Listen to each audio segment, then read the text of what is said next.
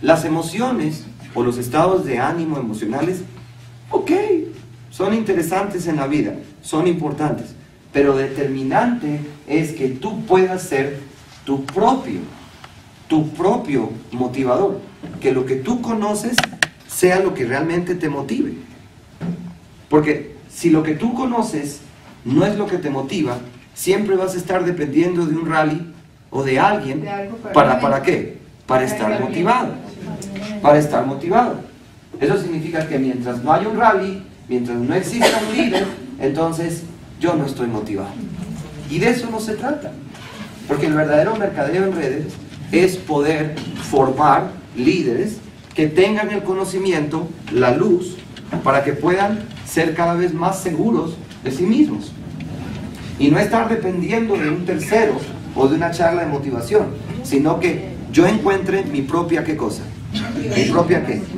Mi propia motivación, mi propia fuente. Y yo siempre lo diré. La mejor fuente, la mejor fuente de motivación, ¿ok? A mi manera de ver las cosas es Dios. Es la mejor manera de poder estar con paz, con armonía. Eh, no el Dios que nos han enseñado, ¿de acuerdo? No ese Dios incomprensivo, eh, que no entiendo, que realmente no comprendo, no. Dios como nuestro Padre celestial, como una persona que ha creado todo un universo con leyes, no para que fracasemos, sino para que seamos qué cosa? Felices. Felices. Todo. Todo, absolutamente todo. Eso es lo más importante. Si en determinado momento no existe esa fuente en nuestras vidas, pues entonces te queda otra, depender absolutamente de quién, de ti. Pero cuando ese ti está mal, enfocado. cuando ese ti está mal, cuando ese ti, por así decirlo, está lleno de dudas, de temores, de estrés, cuando ese ti se enfoca en la rosa, cuando ese ti ha desarrollado una neurolingüística completamente contraria a lo que realmente queremos, pues realmente vamos a pasarla muy mal en la vida. ¿Por qué? Porque si en el ti no hay luz y yo no dependo sino del ti, Ahí quedó. ¿qué va a pasar? Ahí quedamos. Vamos a estar en un círculo vicioso. Abro paréntesis. Por favor, apaguen los celulares.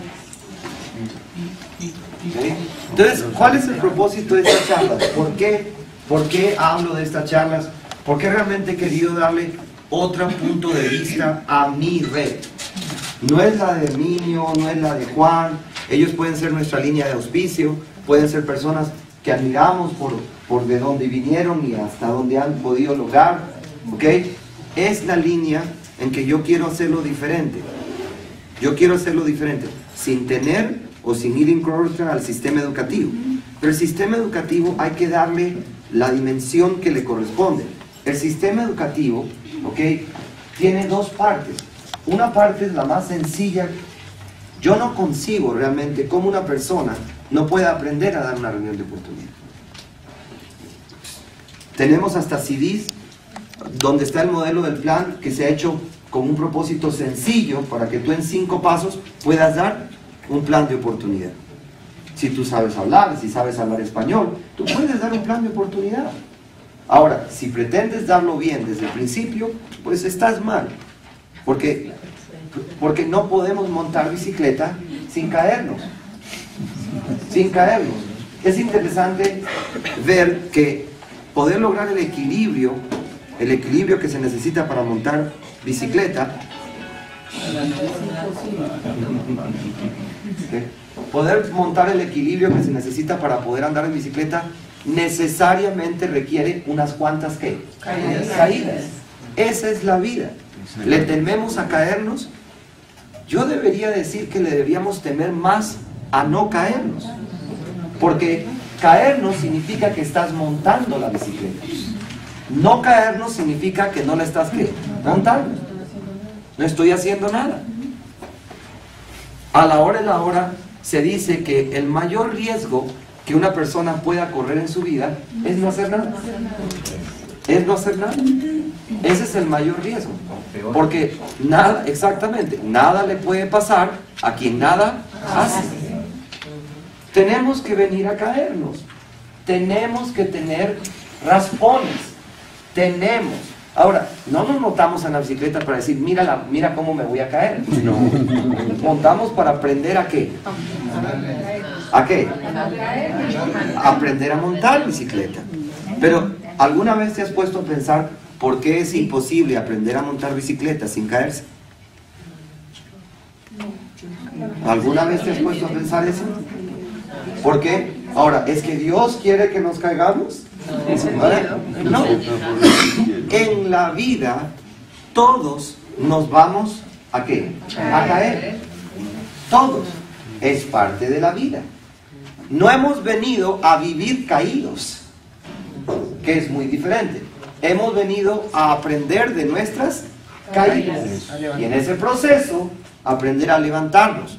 Porque cuando nos caemos y nos levantamos, pasa algo que no pasa en ninguna otra parte de nuestras vidas. Nuestro carácter crece.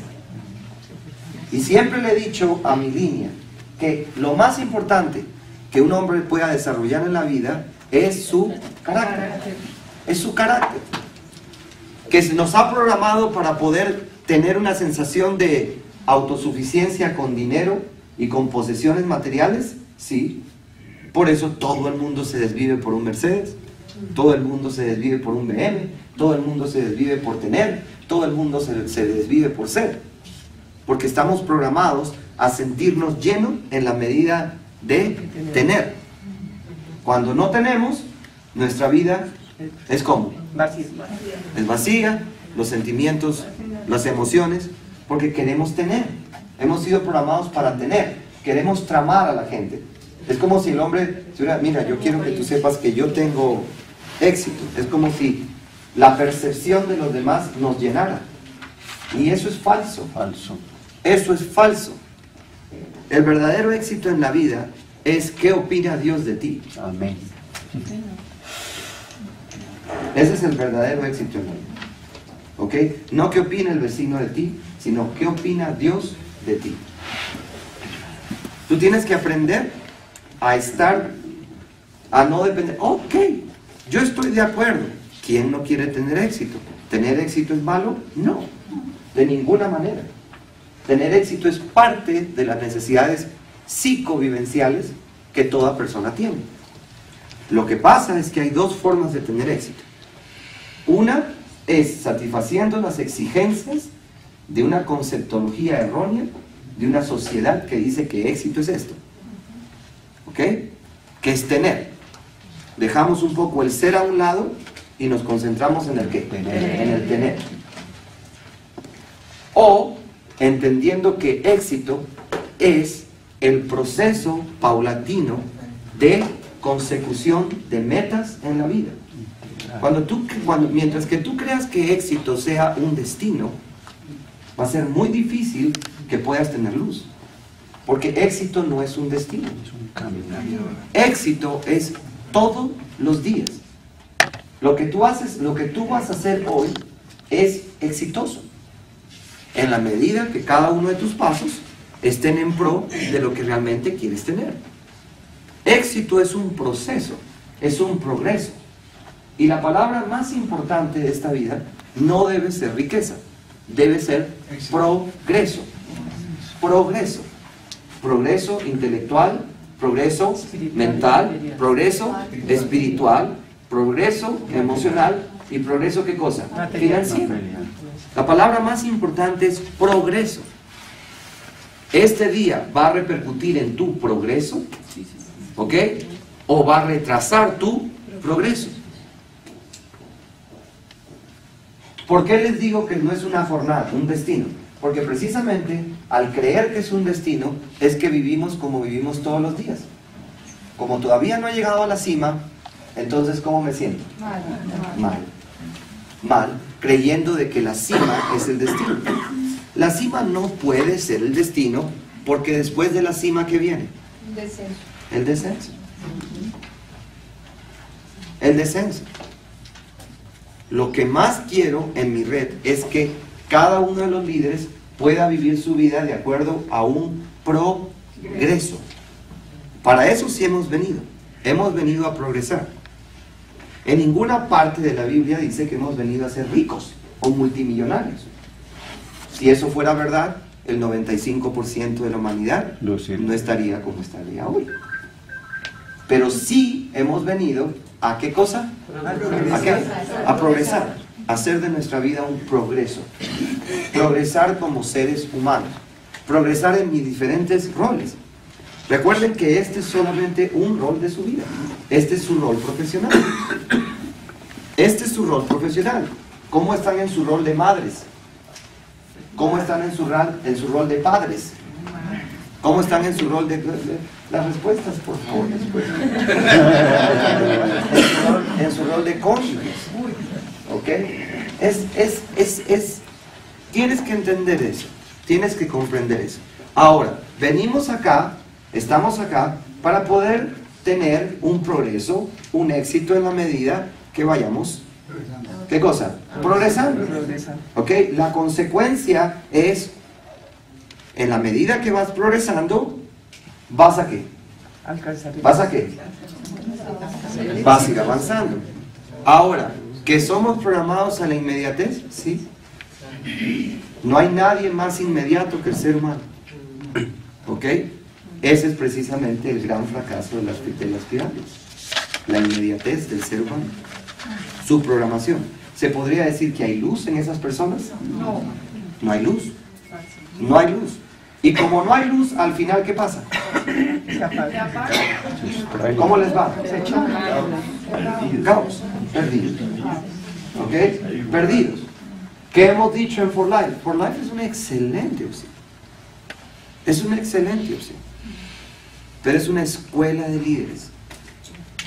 Siempre recuerdo, si tú quieres resultados inmediatos, y lo puse en el email que mandé a mi línea, que me sorprendió ver a uno de mis ex frontales, eso sí, ahí haciendo fila en, en DMG, con pancartas para que le paguen la plata. Pero yo hacía un análisis porque dice que inteligente es el que aprende sus errores, sabio es el que aprende los errores de los demás.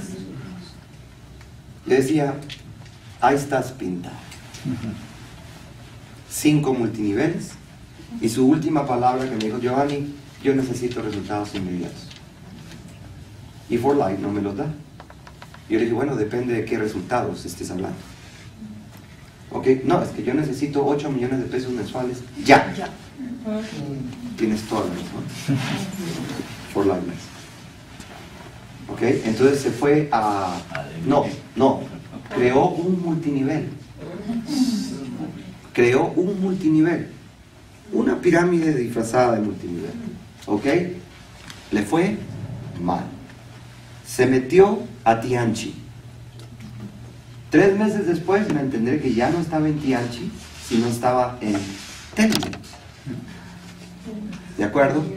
Y un tiempo después lo veo haciendo fila en DMG diciendo, no voy a entregar las tarjetas. Eh, Ahí está pintado. No queremos adaptarnos. ¿ah? Y lo vi que dijeron de antes cumpliendo el producto para un cliente. Y lo viste cumpliendo el producto. Allá el Catriz. Ok. Amigos, ¿por qué no nos adaptamos a las maneras en que Dios ha dispuesto que vas a progresar? Cuando tú entiendas eso, la angustia y la desesperación va a ir mermando en tu vida, porque te vas a volver una persona paciente. Si quieres éxito inmediato, ok, el, todo el universo te va a decir. Así no es. Todo el universo. La impaciencia no es un don. Es una falencia de carácter. No es un don. La impaciencia no es una virtud. ¿Ok? Impaciencia. Vamos en contra de la ciencia de la paz. Paciencia, la ciencia de la paz. Entonces, ¿por qué estos módulos? ¿Por qué estos talleres? Para poder entender, para poder complementar que a esa espectacular parte metodológica que nos da el sistema educativo, esa parte de los siete pasos, porque para mí son siete pasos, Siete pasos. No Los demás, con el. ¿ok? ¿Ok? No, no consulte con el Atlanta. Son siete pasos. Son tres fundamentos. Fundamentos en todo proyecto, no solamente en formal. Un sueño, una meta y un compromiso. Cualquier proyecto de la vida. El fundamento de nuestro negocio es ese. Un porqué, ¿de acuerdo? Un cómo paulatino. Miren cómo está el mismo plan te dice, bueno, primero diamante, después crecerás para hacer qué cosa? Diamante presidencial. En ese proceso habrás fortalecido tu carácter, que es lo más importante. Después de presidencial, ¿qué cosa? Internacional. En ese proceso, la idea que el que llega a internacional sea diferente en carácter que el que fue, ¿qué cosa? Diamante o presidencial. O sea, fortalecer tu carácter. Después, que puedas ser consciente y sabio de la importancia de un compromiso. ¿Por qué? Porque así somos los seres humanos. Nos comprometemos con cualquier cosa menos con quién con nosotros mismos. No queremos comprometernos con nosotros mismos. ¿Ok? Hay seres humanos que se les dice, la reunión central es importante, es parte del compromiso, no van a la reunión central. Y lo más irónico de todo esto es que después por la noche se están preguntando por qué no crece la red.